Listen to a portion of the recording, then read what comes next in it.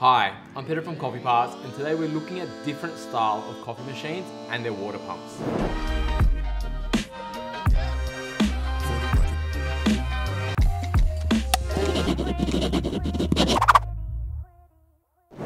Now, we're going to look at each of these pumps individually, in which machines they fit, and how they operate, and the pros and cons of each one. So the pumps came in three formats. Your vibrating pumps, which are mainly for your home domestic machines, your rotary pumps, which is what most cafe machines have and your higher end home machines, and your geared pumps, and they're more your specialty world, high end commercial and high end home. Now we're gonna look at each of these pumps individually, which machines they are in, and how they kind of work, the pros and cons for each one. Let's get into it. Vibrating pumps. Now a vibrating pump uses a pulsating piston to draw water from the tank and push it through the boiler and the coffee pot. They're generally found on smaller home machines. What are they? Basically, they're this. This is a vibrating pump. Basically, you've got a piston that runs along here inside a coil. There's a magnet on the piston.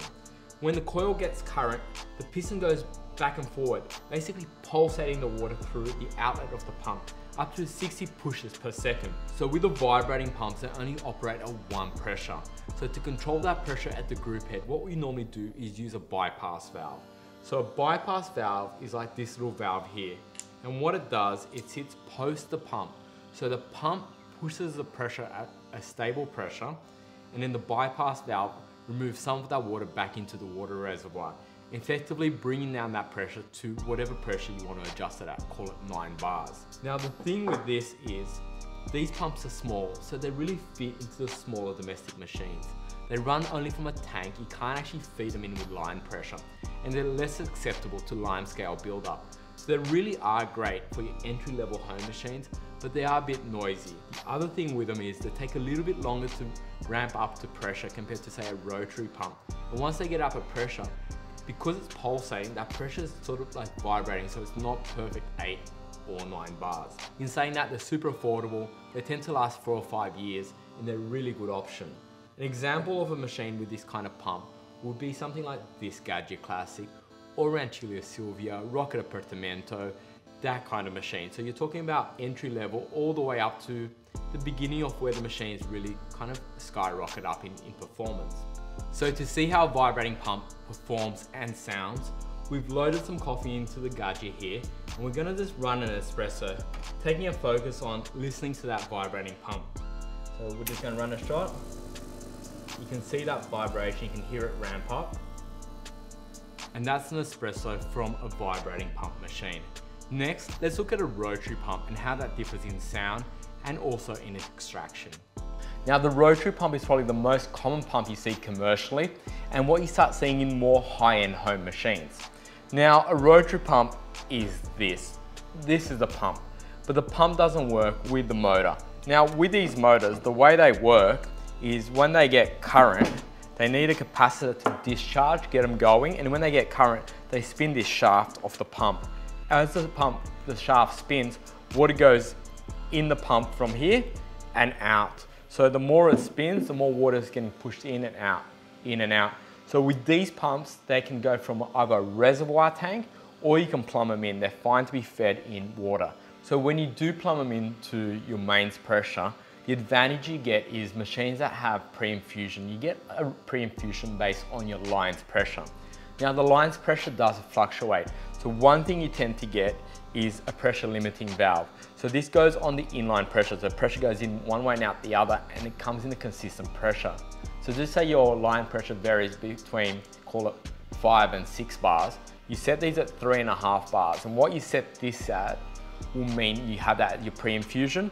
And then the pump just lifts the pressure from the three and a half bar to whatever your set point is. Normally an eight or nine bars. So effectively, you got water coming in from your line through a pressure limiting valve. That's running through the pump and out the group head. That's your pre-infusion. Once you activate your pump, that's the full pressure. And they do tend to ramp up quicker from that pressure to the top pressure than a vibrating pump. A vibrating pump has a bit of a lag. Also, when it gets to pressure, it tends to be more stable. Now, rotary pumps tend to be if you're looking at domestic machines, you're thinking about the Rocket Mozzafiato R, Giotto R, R58, it might be the Victoria Arduino Prima 1, La Marzocco Linea Mini GS3 AV MP. You're talking about that level of machine. And they really are the top end of home machine and the most common commercial machines. Now, the reason why these aren't on smaller domestic machines is physically it's a big unit, it's a heavier unit. So you need to be in a bit of a bigger machine to be able to physically fit this in the machine. Two common brands of pumps are the Procon pump and the Fluid-o-Tech pump. Now this pump's actually off a commercial unit. A lot of times in the domestic units they are identical but they just have a shorter shaft here just to basically save a bit of room. But let's put these all back to the side and run an espresso out of this R58 so we can hear the difference and see the difference between the vibrating pump we use in the Gaggia Classic to this rocket. So just running a shot of this rocket R58, we're actually running this from a tank. So it's a rotary pump running from a tank. So pre-infusion is not really gonna work as well as if we had it plumbed in. So we're just gonna run it full shot and basically take note to listen to the difference between the vibrating pump before and the rotary pump now.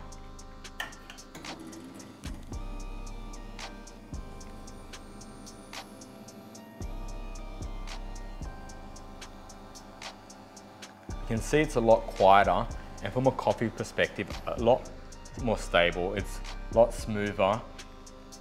You can almost not hear the pump. And as we release there, a lot less channeling in the coffee and overall just a nicer espresso. But in saying that, the vibrating pump and the rotary pump both still do perform well. Now, geared pumps. Geared pumps are traditionally used for pressure profiling to better emulate any profile curve you want. So vintage lever, even a rotary pump, or being able to really draw out that coffee X amount of times, X amount of bars and play around with it. There are two ways to do pressure profiling. Either using, to say, a rotary pump we saw before and a needle valve to control the flow of the water or with a geared pump. So this is a geared pump here. Basically, you use the pressure transducer to understand the pressure and then the pump to really be able to control up and down based on current. Now commercially, it was seen in something like a La Marzocco Strada EP and domestically one of the machines that runs it is this Rocket R91. And what that does is, using the pressure transducer and the pump and current, you can really draw out what you want that coffee to do. Say a few seconds at three bars, then go to six, nine, or maybe even play around up and down in between. You can really stretch out that body or that pre-infusion or post-infusion and really play with coffee. We have done a video focusing on pressure profiling. If you click here, it's a video with Paul Asquith on this R91. So we're not gonna focus so much on what pressure profiling coffee is, but more on this pump and what it can do. So if we actually jump into this machine and do a coffee, we can see by moving this, we're gonna ramp up and down the speed of the pump, which is what you can't naturally do on the vibrating or rotary, with the exception on the rotary of a Slayer 1 group where you've got the needle valve and does it, but mainly you'd be using a geared pump. So we've got some coffee loaded in and let's just run a shot and play around with the pressure so you can hear that pump ramp up and down. So if we move this dial here, we can start it off. As you can see, it's starting off at two and a half bars. And now it's gonna ramp up to eight bars in this pressure profile. Now we'll just pull it back down to five bars and it's gonna finish it off at two and a half bars, noticing how quiet this pump is and how much control it had between. So what it does is, that's just a profile that was set in the machine you could be drawing out as you want. Every second you could be moving it from X amount to Y amount and really draw out what that espresso looks like to you. And that's what a gear pump can do.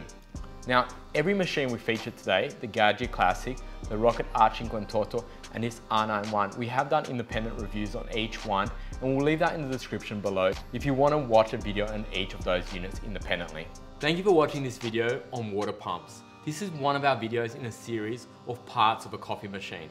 If you've enjoyed this video, please hit the thumbs up. If you've got any questions for me on these parts or any other parts of a coffee machine, hit me up in the comments below. And like always, if it's brought you value, please subscribe. Thank you.